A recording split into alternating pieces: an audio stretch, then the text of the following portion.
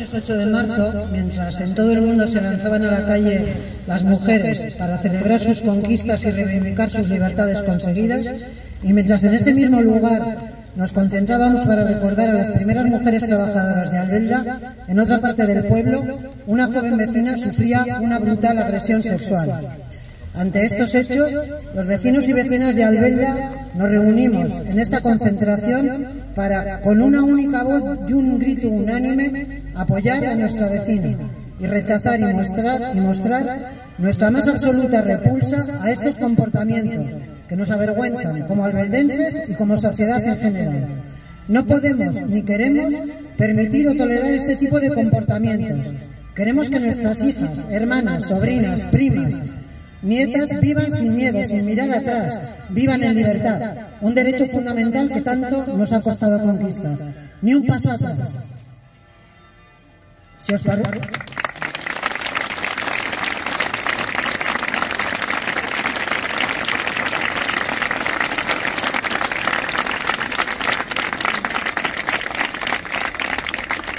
Si os parece, guardamos ahora un minuto de silencio.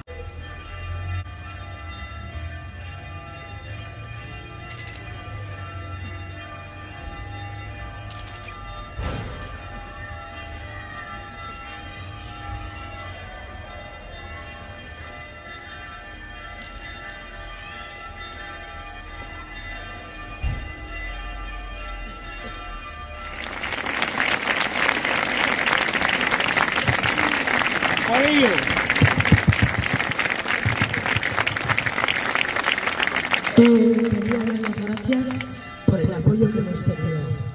Hoy nos ha tocado a nosotros. Mi prima ha sido violada. Ha recibido una paliza. Qué gracias. Gracias al Venga por el apoyo a mi tía, a mis padres y a en especial. Gracias.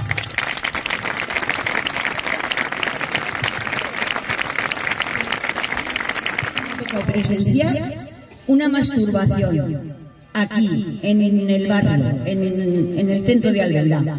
¿Os creéis que esto es normal?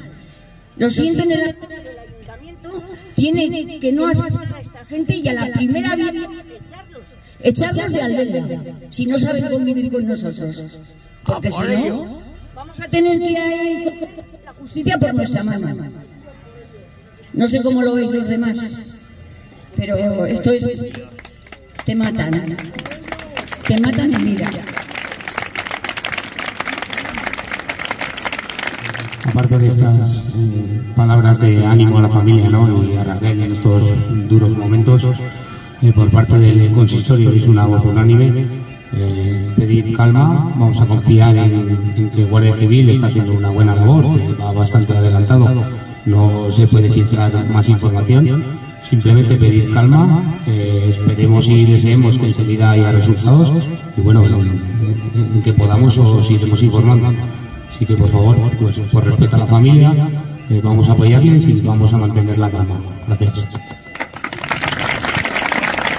La familia es momento de arropar a todas las mujeres que sufren violencia, decirles que no están solas y sobre todo yo creo que tenemos que confiar en la justicia, tenemos que confiar en la ley, en las Fuerzas Armadas, dejar que actúen, dejar que la policía, la Guardia Civil y los jueces hagan su trabajo y toda la sociedad decirles a estos canallas que no tienen hueco entre nosotros con calma, con serenidad y dentro de este Estado de Derecho en el que en este momento nosotros estamos conviviendo, demostrarles que la fuerza de la ley es la que va a ganar.